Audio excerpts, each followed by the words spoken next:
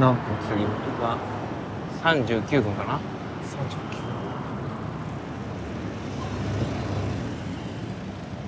最近できたとこ。でかいね。でかい。本当に IKEA が最近渋谷にできたね。え？ニトリ？いや渋谷に IKEA あ、イケアできたんだっうん。ニトリは前に前からあったよねあのああの横でしょ？あの電力館けにイケアできたんだっけ？え、ニトリ？あ、ニトリか。ニトリ。で IKEA はどこ？これあのなんかあそこら H&M らへんにああ、あっちか。あれ？できたよな。どんどんなくなるし、どんどんできるし。うん。渋谷。ちょっとでかすぎるね。これでかすぎるね。でかいイオンもある。あっ。ちか。あ向こうでしょ？うん。そうそう。あのひもんやだっけ？そうそうそう。あいつも最近守谷も今ひもんやつってあ、森谷そうなの？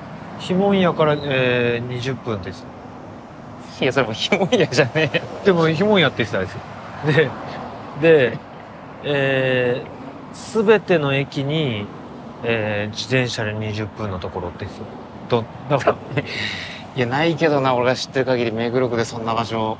でも守谷言ってた？なんかどどの駅にもあの自転車で20分だからいや、エアポケットすぎるでしょ、それ。でもすごいいいとこだってそれ言ったら全てのとこにそれをかかっちゃうから絶対静かに。目黒区の交通もかいくぐるのなかなかむずいよ。だからもみ守谷だからできたんだろうねなんかチャ、え、歩いてだったらまだわかんないけど。チャリでいや歩い20分。歩いてかな。歩いて20分か。さすがに。チャリで20分はなかなかよ。チャリでだから守谷のことだから多分そのいなんか23個過ぎちゃってんじゃない？駅。で見逃しちゃってるかもしれない。東京間が。東京やっぱ地下に結構駅とかあったりするから。来て、1年ぐらいか、あいつも。1年、2年ぐらい。そうだな。いやなんか最近さあのあれ。あのリベラ。行ったことないのよ。えあないの？え？いた？えないの？いやだっていやそのここ近辺有名、の有名な、もう昔老舗のステーキ屋でしょ？あの、あチャレンジメニューある。そうそう行ったらいた。行ったあのバ,、えっとバダハリうん。っていう、んえー、なんかすごいでかい450はいはいはいぐらいの。そうそうこの間あなんかえっ、とあれドラマがあってさうん。あの中野大河さんと、はいはい。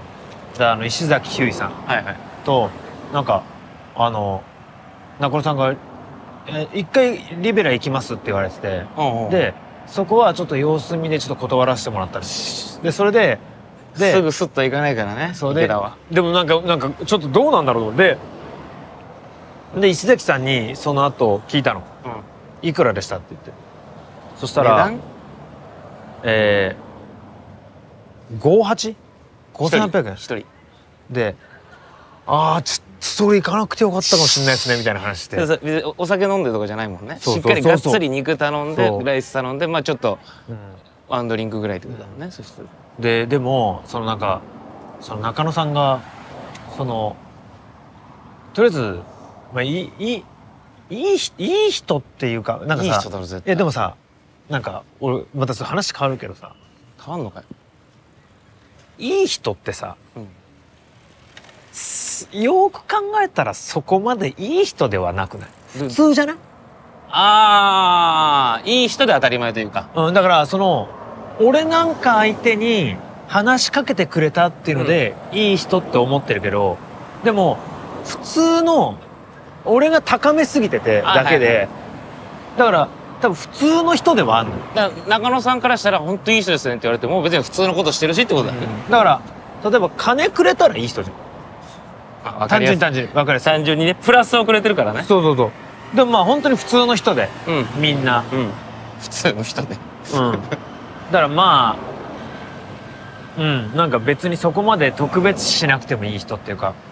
でそれであのー誘ってくれて行ったのよ、リベラ。もともと何中野さんがリベラ好きなの？えそうかな？だからえー、うん。ななんかある時には、うん。食べるみたいな、はいはいはいはでまあその毎回は行かい。ないらしい。ご褒美的なね。あんなね、ステーキ。でそれででまあ行くってなって。でまあ奥さんにも聞いてその5800円払っていいかっていう。やっぱり一食に対しての、あるもんね。家計的なことでね、今え後で使うどう？いくら？だっていや、いや、それは一食5800円。しかもおお酒飲まないで5800円なんて、そんな毎日行けるとこじゃないじゃん。どう考えても。なかなかじゃない？ないないない。まあ酒あったらさまあ変わってくるよ。酒あって変わってくるけど、あまあ、それも変な話なんだけどね。酒あったらなんで1枚行っていいんだみたいな話もあるけど。だ酒だ基基本にあってさ行ったらえー、一杯いくら？ろ600円とかするそんなしないお酒あだビール？生ビール？ビール、まあまあ500円前後って考えてるかな。安いところは390円飲めるし、みたいな。でもさコーラってさ、こまあ俺コーラソフト180円、280円。そうそうそうそうその店によるか。うん500円もする。でそこで食って食ってで俺あの450もうせっかく行くならリベラのそのね、そうがっつりしたやつ行った方がいいじゃん。でもその俺小食だし、はいはい。450なかなかよね。ん、でライスも食べるし。そうで石崎さんと、えー中野さんに「あのいや絶対450行った方がいいですまあリベラ行ったらそら」ね。ででも正直そのドラマの現場で中野さんの弁当食べるスピードが半端じゃない早いんだ。早い人なんだ。もうあの本当に噛まない人だ。わかんない。わどどうわ噛んでんだったら。飲食店でバイトしたんじゃない？ああなるほどね。うん。でもマジでいや本当に苦労人らしいね。中野さん。あ、そうなんだ。だから本当になんかこっちはさ2世だし、あの多分先入観で、うん。あの親の七光って言われることももしかしたらあるかもしれないもんね。うん。えでもあれえあの中野秀夫さんの話も聞いたのよ。うん。おうおう。あのどういう人なんですか？ああ気になるね。だって正直さ息子目線ねなんかちょっと怖そうじゃない？うん。であれあれあのななんだあれお前？みたいな、はいはいはい。もう違うんだってもうあのなんかすもうとりあえず褒めてくんだってへえ。でもその褒め方がもうベテランだその先輩の褒め方とかじゃなく「タイガ面白かったよ!」ってパパだ。本当お父さん。だからねおお父さんってよりもタイガさん曰くうん素人だってその喜び方が本当にフラットなんだ。ああんだけやってんのに。そうで「あのドラマ面白かった 本当に」っつってだから正直あのマジで演技の参考とかにはしてないです ああの一般の人ってこういう反応なんだなって言って見てますってそんぐらいフラットだからだ。そうなんか、うん、でもそ、なんつうんだろう。意外じゃない？顔も似てないしな。そんま。おやまあ似てる部分はあるんだろうけど、役どころとかもね、そうそうそうそう。全然違う気するし。なんか撮影でさあの中野大河。すごい。ドラマ出てるよ。えーえー市川美香子、え。ー、要潤。えー檀れい。うん。石崎ひゅーい。で柄本明。でその他結構ゲストでそうそうたるメンツ来たの。はい。なんかその人たちとあのこうドラマ撮ってて、で正直そのドラマでさ、うん。1ヶ月ぐらいもうほぼドラマドラマ漬けだったじゃん俺ドラマ好きでしたよ、本当に。